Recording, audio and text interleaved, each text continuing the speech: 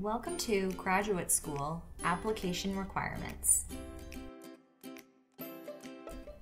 Application requirements will vary by degree, program, and or individual school, and it is not possible for us to cover all scenarios and requirements during this presentation. However, here are some typical elements that may be part of your application checklist.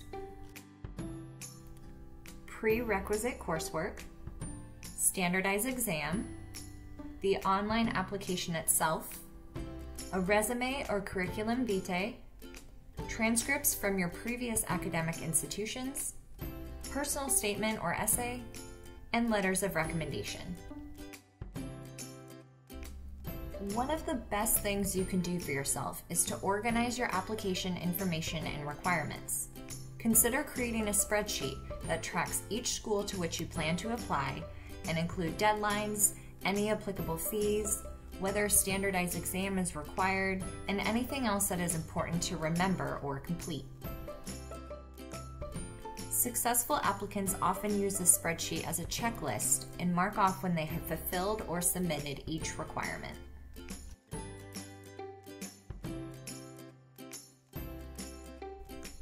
A bachelor's degree is typically required for graduate and professional school. While you should have completed the degree by the time you start your program, you can often apply while your undergraduate degree is still in progress. Your bachelor's degree does not always have to be in the same field you plan to study in graduate school. However, there are a few considerations to remember. Some degrees may better prepare you for study in a particular field in terms of the knowledge gained through the undergraduate coursework. In addition, the graduate or professional school may require or strongly recommend specific prerequisite coursework. Be sure to check admission requirements at your schools of interest and work with your academic advisor to incorporate those courses into your academic plan. Sometimes you may need to complete additional coursework during the summers or after graduation, but it really depends on your situation. A standardized exam may be required as part of the admission process. The purpose is to assess your suitability for graduate level study. Exams also provide a data point when comparing applicants. The conversation around standardized exams is ever evolving, however, so be sure you understand the current requirements that may even vary school by school.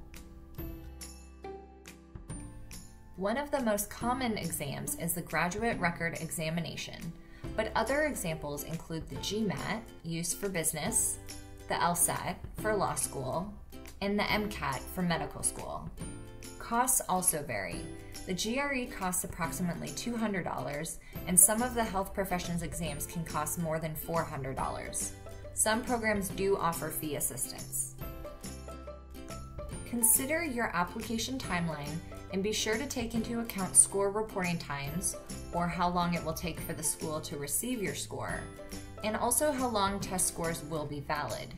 If you need to request accommodations, be sure to give yourself plenty of time to submit the necessary paperwork in advance of registering for the test.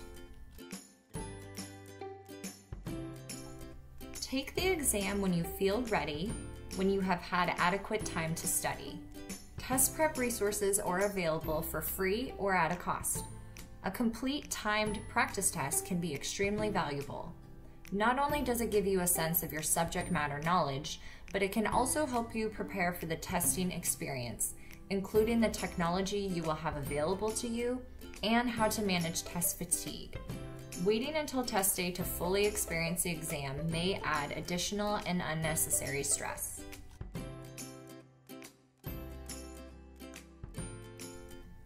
With a few exceptions, including law school and the health professions, there is typically no common application or portal for graduate school.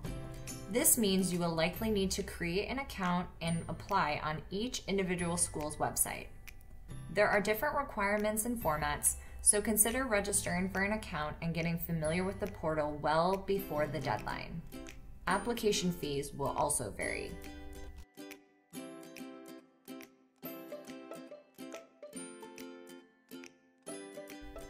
A resume or curriculum vitae, also known as a CV, may be part of your application requirements. You may see these terms used interchangeably, and it may depend on your industry or program.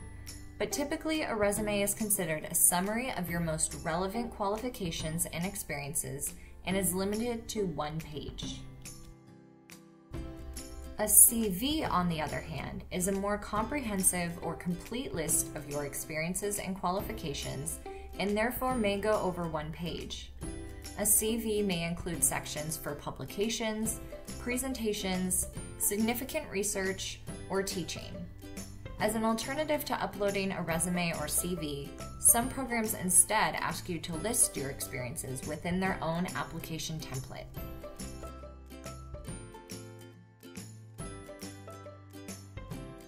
Official transcripts from colleges or universities you previously attended are likely to be required. Contact your institution's registrar office and be sure to request the transcripts well in advance of deadlines. There is likely to be a fee, and you will want to be sure your student account is settled, otherwise, your school may not release those records.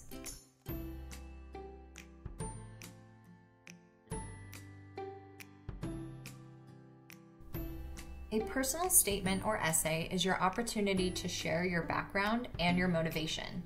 A school may ask you to answer a specific question, but generally you want to share your experiences and address how this degree will help you achieve your professional goals. You can likely use parts of the essay for multiple schools, but you will also want to somewhat tailor your essay to each particular institution. Sometimes a statement of research is requested. The school may ask you to propose a specific topic or question and even include names of specific faculty members whose interests align with yours. Always pay attention to whatever prompt you are given, answer any and all questions, and follow the length guidelines. If none are given, a good rule of thumb is 1 to 2 pages double spaced, or about 500 to 800 words.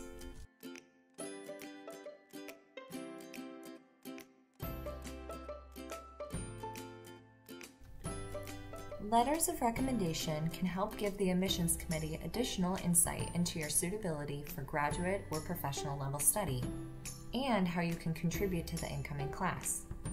Pay attention to requirements which may vary school by school, but you will likely request these letters from professors or other individuals who have supervised you and can speak positively about your personal qualities.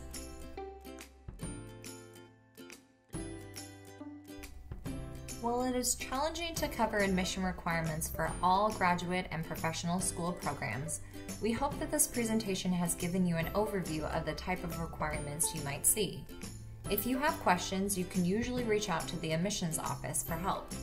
You can also find support for the application process here at Gonzaga. For more information or one-on-one assistance with graduate or professional school applications, please reach out visit our website, contact us via email or phone, schedule an appointment on Zags Ignite, or stop by and see us on campus.